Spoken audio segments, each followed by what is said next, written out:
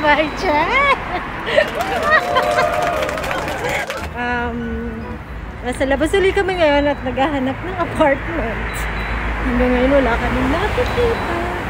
Pero, try and try until we die. so, yun.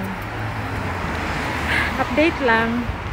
Pero yun nga, um, maraming, maraming, ano, maraming mura. Pero, naghahanap kasi kami ng medyo uh, malapit sa aming office para nga naman hindi na kami mahirapan sa transportation. Guys, ang mura ng mga apartment dito. Sa Dubai, meron ka lang less than 2,000 dirhams, meron ka ng sarili mo apartment. Ganyan kamura dito. So, what are you waiting for? Mag-migrate na kayo sa Europe. My gosh, bilis-bilisan na. Nakakita kami ng Chinese restaurant. So, we'll see what's inside.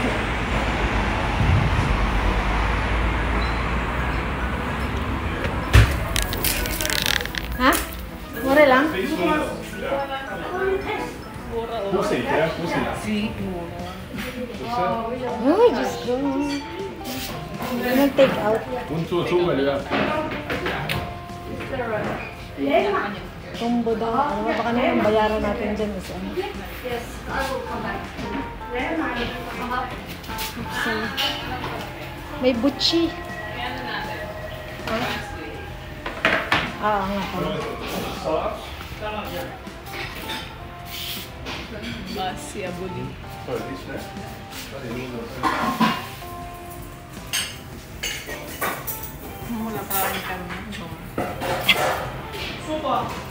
Ayan siya, oh. Kakain ka ng sarap. So, ito yung order namin. Nasa kanin. Masarap ata. Ay, kumuha ka na ng butchi. Hindi parang free na alal. Hindi! Hindi ako nag-order eh. Lagyan lang ano ako. Magkano binayaran mo? Five. Magkano kaya to? Baka sa isang combo na ganito is ano? Dali nagbayad ako ng 6 euro. Dalawang, um, dalawang dish. Babo yan. Tapos may dalawang butche. And one water. So, 6 euro. Magkano 6 euro times 20. 4? 20 lang. Pwede na. Try natin.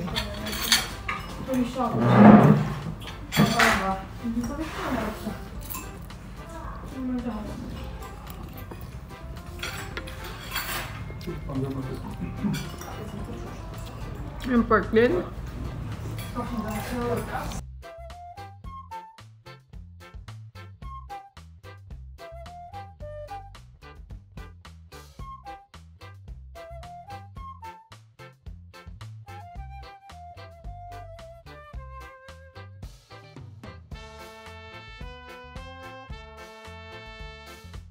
Ah, ito yun. Noodles or one dish. 5 euro. Soup or dessert. Mm, So, ang 5 dapat pala euro to. nga. 5 euro nga pala talaga. Mm.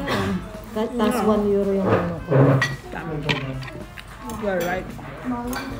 Yan yung business lunch. Ayun, syempre guys, um, nalulungkot pa kami pag gumagastos kami ng 5 euro kahit nasa 20 dirhams lang yun. Kasi nga, kailangan namin magtipid.